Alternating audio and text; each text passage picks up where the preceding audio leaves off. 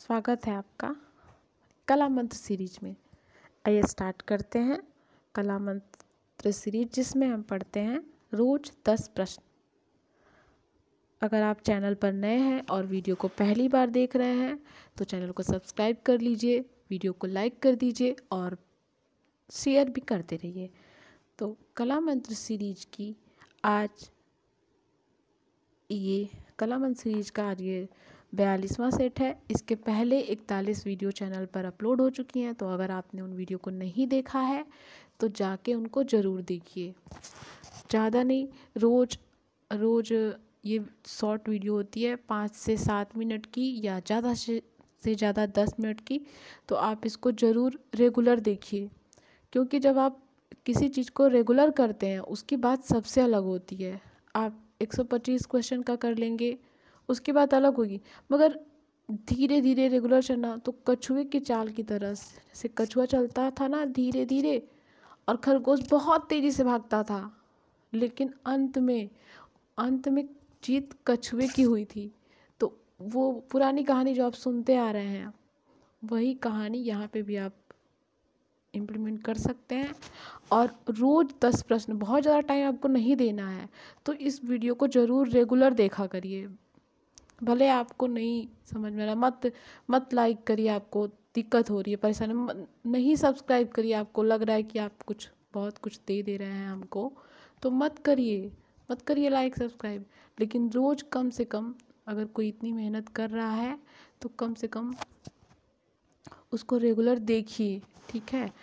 कब कौन सा प्रश्न आपको लाभ दे देगा?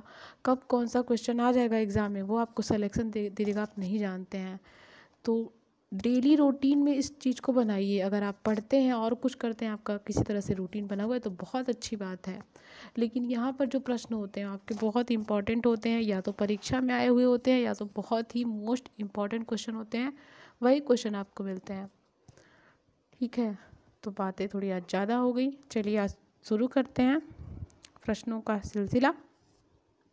तो आज का हमारा पहला प्रश्न है, साहित्य अकादमी की स्थापना कब हुई? उन्नीस सौ उनसठ में 1955 में 1960 में या उन्नीस सौ चौवन में? तो साहित्य साहित्य अकादमी की स्थापना कब हुई थी? तो उन्नीस सौ में हुई थी। आज का हमारा दूसरा प्रश्न है, सुकृति आर्ट गैलरी स्थित है। सुकृति आर्ट गैलरी कहाँ है? तमिलनाडु में, अहमदाबाद में, मुंबई में या जयपुर, राजस्थान में? तो सुकृति आर्ट गैलरी हो जाएगी जयपुर, राजस्थान में। एक गैलरी से और एक अकादमी से दो प्रश्न। आज की सीरीज़ का हमारा तीसरा प्रश्न है रूपलेखा पत्रिका का प्रकाशन हुआ है, कहाँ से होता है? हुआ है रूपलेखा पत्रिका का प्रकाशन कोलकाता से, मुंबई से, दिल्ली से या गुजरात से। तो रूपलेखा का पत्रिका का प्रकाशन कहाँ से होता था? तो दिल्ली से होता था।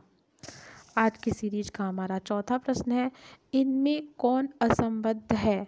मंसूर, मनोहर, बेजाद या मिस्किन? तो इसमें से आपके जो बेजाद हैं, वो असंबद्ध हो जाएँगे, क्योंकि मंसूर, मनोहर, मिस्किन, ये तीनों आपके जहांगीर के काल से संबंधित हो जाएँगे और बेजाद बाबर के समय हम लोग पढ़ते हैं। बाबर ने बेजाद की प्रशंसा की थी। देखते हैं आज की सीरीज़ का हमारा पांचवा प्रश्न। आज की सीरीज़ का हमारा पांचवा प्रश्न, निम्न में से परदाज एक प्रसिद्ध तकनीकी है, राजस्थान से संबंधित है, गढ़वाल से संबंधित है, पंजाब से संबंधित है या मुगल से? तो परदाज छाया प्रकाश जो है, मुगल काल से संबंधित हो जाएगी। प्रश्न संख्या छः है सम्राट जहांगीर का प्रिय चित्रकार कौन था? बसावन मनोहर, मंसूर या अबुल हसन? तो सम्राट जहांगीर का प्रिय चित्रकार अबुल हसन हो जाएगा। और बसावन अकबर का प्रिय चित्रकार। अकबर के समय का है और अकबर का प्रिय चित्रकार बसावन था और जहांगीर का अबुल हसन।